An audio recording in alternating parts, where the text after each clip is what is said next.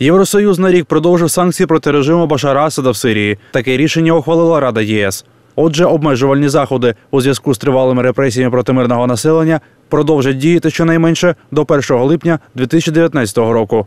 У санкційних списках проти Сирії 259 осіб і 76 установ. Їхні активи заморожені, а також введені візові обмеження. Загалом, як уточнюється, ЄС обмежує імпорт, інвестиційну діяльність, блокує активи Сирійського центрального банку, обмежує експорт технологій і обладнання.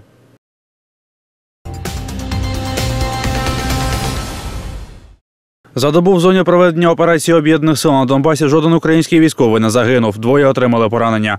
У штабі повідомляють про зниження кількості ворожих провокацій. Зокрема, на Луганському напрямку зафіксовано 5 обстрілів. В одному випадку окупанти використали міномети.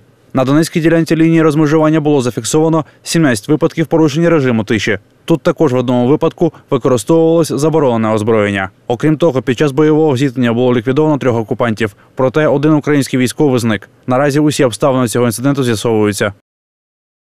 Щодо поточної ситуації сьогодні, 28 травня.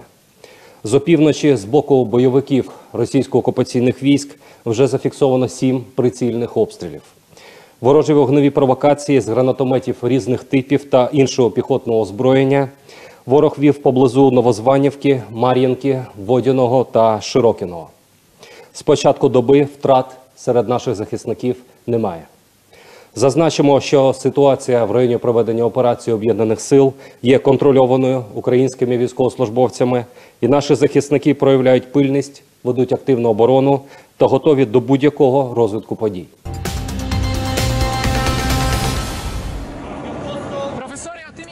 Юрист Джозепе Конте, призначений на посаду прем'єр-міністра Італії, відмовився від неї і від мандата на формування кабінету міністрів. Таке рішення Конте прийняв після особистої зустрічі з італійським президентом Серджіо Матарелла.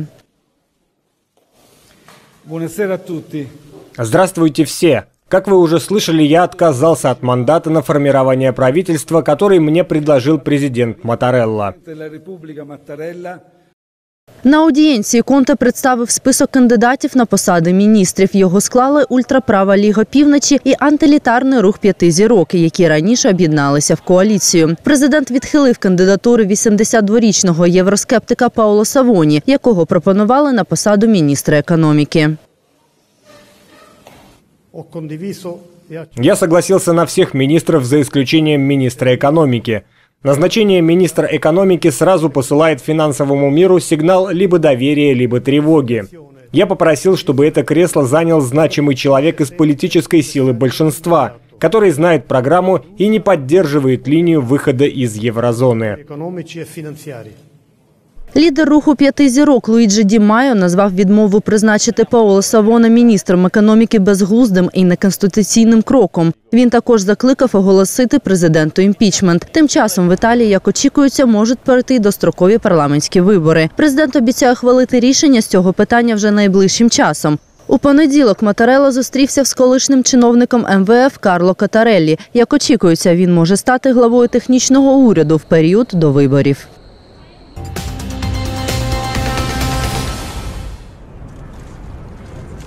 Темні ночі Сідне перетворилися в мерехливу казку. Найбільше місто Австралії святкує 10-й фестиваль світла Яскравий Сідней. На вітрилах знаменитого оперного театру одна за одною з'являються фантастичні картини.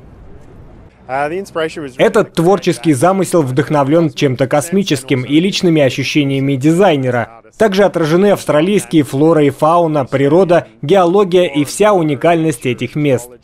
Яскравими вогниками причепурився міст Харбор Брідж. Світлові інсталяції прикрашають і інші визначні пам'ятки міста. Это так здорово, словно смотришь в большой телевизор. Даже нельзя различить, проекция это или что-то другое. Постоянно все изменяется. Цього року організатори фестивалю пропонують глядачам поринути у світ дитячих захоплень. На фасаді будівлі митниці розгорнулася ціла вистава. Вона присвячена персонажам дитячої книги, яку написала і ілюструвала австралійський автор Сесілія Мей Гібс.